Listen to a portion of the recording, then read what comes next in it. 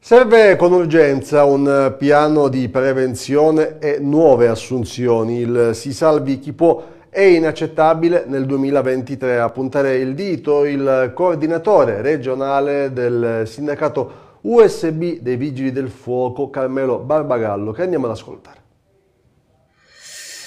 Le denunce che questa organizzazione sindacale negli anni ha fatto, cioè quelle della mancanza di prevenzione e messa in sicurezza del nostro territorio, ancora una volta si dimostrano veritiere. I campi fregai hanno evidenziato come manca un piano di prevenzione e messa in sicurezza del nostro territorio per quanto riguarda il rischio sismico, il rischio vulcanico, il rischio incendi e il rischio idrogeologico.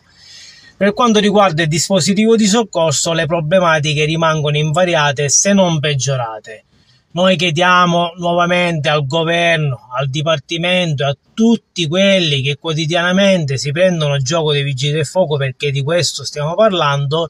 di attuare il piano assunzionale per rimpinguare gli organici e soprattutto di mettere in sicurezza il nostro territorio perché si salvi chi può non può e non deve esistere nel 2023. Noi come organizzazione sindacale non ci fermeremo e continueremo a denunciare le nefandezze per quanto riguarda il dispositivo di soccorso, ma vogliamo che le nostre famiglie e i nostri figli siano sicuri nelle scuole, siano sicuri nelle nostre città perché ci vuole un piano di prevenzione per tutte quelle problematiche che abbiamo evidenziato, cioè rischio sismico, rischio idrogeologico, rischio incendi e rischio vulcanico. Pertanto mettiamo le mani in tasca, cari politici, perché i cittadini pagano le tasse, le nostre famiglie e i nostri figli devono stare sicuri nelle scuole e nelle nostre città.